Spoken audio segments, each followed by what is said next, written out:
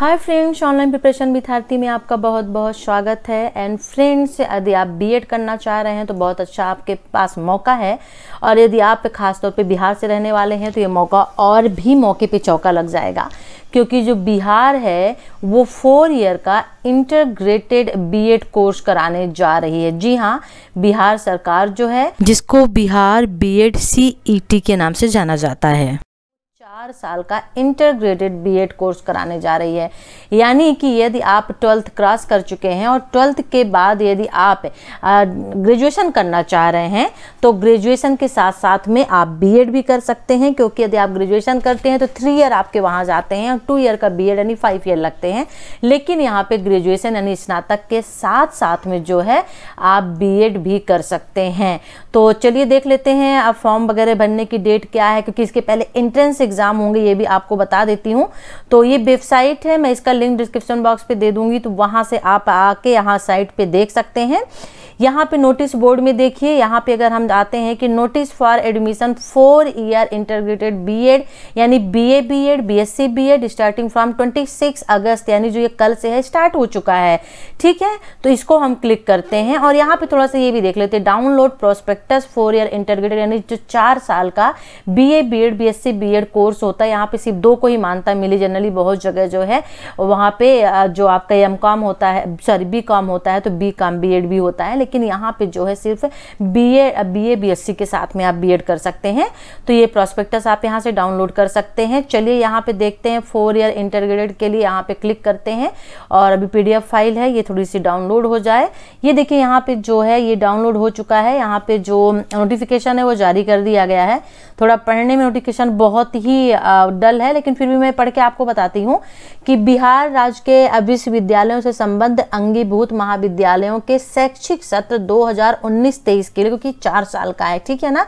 चार साल का जो इंटरग्रेटेड यानी स्नातक के साथ में जो बीएड होगा, तीन साल का स्नातक और एक साल का बीएड होगा।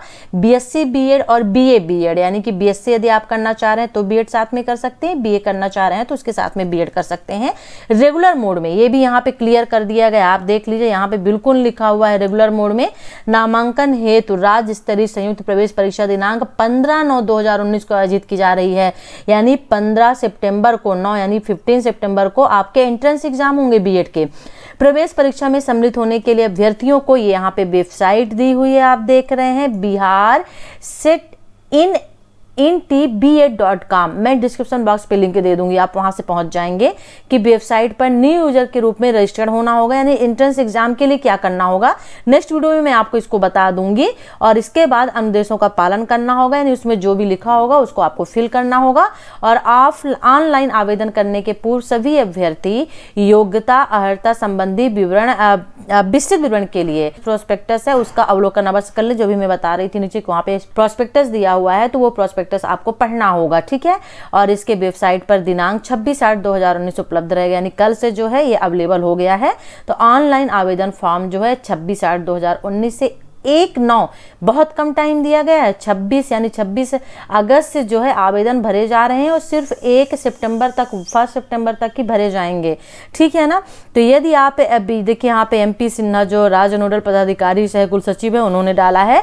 तो यदि आप बीएड करना चाह रहे हैं और आप ट्वेल्थ कर चुके हैं तो आप बीएड ग्रेजुएशन ये यहाँ से बिहार से जो है, बिहार के रहने वाले हैं तो यहाँ से सर जो गवर्नमेंट है, वो बी करवा रही है। तो आप यहाँ से ग्रेजुएशन के साथ में बीएड कर लीजिए। मैं बिल्कुल इसके फेवर में हूँ। ऑनलाइन प्रिपरेशन के कोर्स बहुत अच्छा है। आपका वन ईयर यहाँ पे बचेगा। वर्नली जनरली जो बी है, वो टू ईयर का है, क्योंकि अभी वन ईयर का कर दिया गया। नेक्स्ट ईयर टू ईयर का फिर हो जाएगा। तो आपके जहाँ फाइव ईयर लगने हैं तो फाइव ईयर ना लग के यहाँ पे सिर्फ़ और सिर्फ़ फोर ईयर आपके लगेंगे।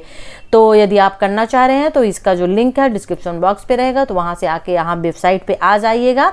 देखिए, यहाँ पे प्रोस्पेक्टस भी दिया हुआ है तो नेक्स्ट वीडियो में मैं आपको बता दूँगी इसका प्रोस्पेक्टस की एलिजिबिलिटी क्या होगी, कौन लोग जो है वो भर सकते हैं, क्योंकि ये ग्रेजुएशन के लिए फोर ईयर का है तो हंड्रेड परसेंट ट्वेल्थ के बाद ही यहाँ पे होगा ट्वेल्थ के बाद जिन्होंने ट्वेल्थ किया है, वो लोग इसके लिए एलिजिबल होंगे ओके यहाँ पे चलिए इसको क्लिक करते हैं पीडीएफ फ़ाइल है। खुल जाए ओपन हो रही है तो इसको हम देख लेते हैं, थोड़ा सा लगे हाथ प्रोस्पेक्टस देख लेते हैं। नेक्स्ट वीडियो में आपको बता दूँगी किस तरह से फॉर्म फिल करना है आपको एंट्रेंस एग्ज़ाम के क्योंकि अभी एंट्रेंस एग्ज़ाम होंगे जो पंद्रह सितंबर को है फिफ्टीन सितंबर सितंबर को है। ये देखिए जो पीडीएफ फ़ाइल है, वो ओपन हो चुकी है। अगर हम यहाँ पे आते हैं, ठीक है ना तो यहाँ पे थोड़ी सी चीज़ें आप पढ़ लीजिएगा फॉर्म जमा करने की प्रक्रिया जो है वो ऑनलाइन होगी। ठीक है ना? और पेमेंट गेटवे के द्वारा शुल्क, यानी जो फ़ीस है, वो आप भर सकते हैं। अब यहाँ पे यदि देखते हैं, महत्वपूर्ण तिथियाँ, दिशा निर्देश देखिए फाइव देख ले शैक्षिक अर्हता सिक्स नंबर देख लेते हैं, जो वेरी इंपॉर्टेंट है। तिथियों में देखा जाए तो देखिए, पच्चीस आठ जो है पब्लिश किया गया है एडवर्टीजमेंट छब्बीस तारीख से आपके जो फॉर्म है, वो भरे जाने हैं। और फ़र्स्ट सितंबर यानी एक सितंबर तक लास्ट डेट यहाँ पे रखी गई है। और जो तीन सितंबर है, वो फ़ीस के लिए रखी गई है कि तीन सितंबर तक जो है, आप फ़ीस भर सकते हैं। Last date for change in application detail यदि आपको करेक्शन करना चाहते हैं तो तीन सितंबर भी इसके लिए लास्ट डेट रखी गई है और साथ ही date of propose entrance exam यानी कि जो इंट्रेंस एग्ज़ाम होगा, वो अभी पंद्रह सितंबर आज की डेट पे यहाँ पे बताया जा रहा है। Date of declaration of result एक हफ़्ते के पाँच दिन के अंदर आपका रिज़ल्ट आ जाएगा और ये जो है, बीस तारीख को आपका देखिए, बीस नाइन, यानी कि बीस नौ को जो है, बीस सितंबर को आपका रिज़ल्ट आ जाएगा। इक्कीस तारीख को जो है, वो काउंसलिंग होगी चॉइस जो कॉलेज चॉइस काउंसलिंग होती है, वो 21 को हो जाएगी। और 21 तारीख को ही date of opening of online registration हो जाएगा काउंसलिंग का, ठीक है ना? पेमेंट के साथ में जो फ़ीस लगती है बीएड की। लास्ट डेट जो है वो online registration counselling and choice filling हो जाएगा। तो सब कुछ इसमें है। चलिए, मैं पहले इसमें आपके लिए शैक्षणिक योग्यता बता देती हूँ। जब फॉर्म भरूँगी, आपको बताऊँगी किस तरह से रजिस्ट्रेशन करना है, ठीक है? तो वहाँ पर फिर मैं आपको फ़ीस वगैरह भी नेक्स्ट वीडियो में बताऊँगी। देखिए यहाँ पे चार साल का जो ये कोर्स कराया जा रहा है तो चार वर्षीय एकीकृत बीएससी बीएड और यहाँ पे बीए बीएड संयुक्त प्रवेश परीक्षा जो होता है सीईटी इंटरवीएड के नाम से जाना जाता है बिहार में। यहाँ पे जो एलिजिबिलिटी रखी गई है, वो रखी गई है कि उच्चतर माध्यमिक प्लस दो या इसके समकक्ष कम से कम पचास अंकों के साथ। यानी कि यदि आपने ट्वेल्थ किया है तो फिफ्टी परसेंट ट्वेल्थ में होने चाहिए। जो ओल्ड लोग हैं, जिन्होंने इलेवंथ किया है, जिसको ट्वेल्थ के समकक्ष माना गया तो उनके भी फिफ्टी परसेंट होने चाहिए। दूसरी चीज़ रखी गई है कि आरक्षित श्रेणियों के वर्ग के लिए अंकों में छूट फोर्टी फाइव परसेंट इसकी समकक्ष होगी। आरक्षित श्रेणियों के लिए वर्ग में, यानी कि अंकों में छूट, यानी कि जो S T S C OBC के लोग हैं, उन लोगों के लिए फोर्टी फाइव परसेंट जो कि जिन लोगों ने एनआई से डिलीट किया है सेम उसी कंडीशन पे है, इसीलिए उसकी जो बाउंडेशन है, इसीलिए रखी गई थी। देखिए, सिर्फ़ दो ही चीज़ें मैंने कहा था कि ट्वेल्थ है और जो मेन इंपॉर्टेंट है फिफ्टी परसेंट होना ज़रूरी है, यानी जनरल के लिए, और S T S C OBC के लिए आरक्षित जो वर्ग है फोर्टी फाइव परसेंट ठीक है? ऑनलाइन आवेदन करने की प्रक्रिया ऑनलाइन पंजीयन पहले करना होगा, द्वितीय चरण में आवेदन पत्र को पूर्ण करना होगा, तृतीय चरण में प्रवेश परीक्षा शुल्क का भुगतान करना होगा और जो आवेदन पत्र उसका प्रिंट आउट लेना होगा। तो ये वीडियो कैसा लगा ज़रूर बताइएगा। वीडियो को ज़्यादा से ज़्यादा जो है आप इसे शेयर करिए ताकि सभी तक इन्फॉर्मेशन पहुँच जाए। टाइम बहुत कम है इसका, बहुत ही कम। तो यहाँ पे देख लीजिए, यहाँ पे आरक्षित जो जो चीज़ें आरक्षित रखी गई हैं, सीटें।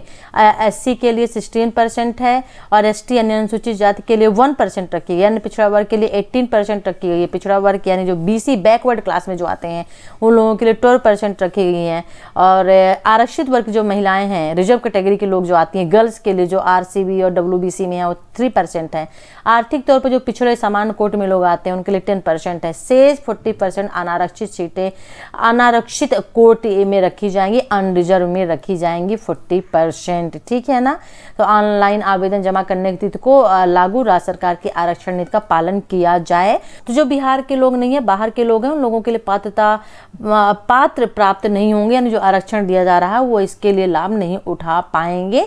ये यहाँ पे स्पष्ट कह दिया गया है।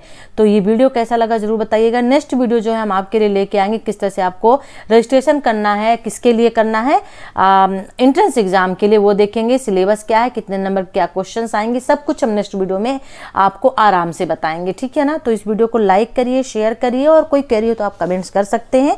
चलिए फिर नेक्स्ट वीडियो के साथ हम आपसे फिर मिलते हैं। तब तक के लिए टेक केयर बाय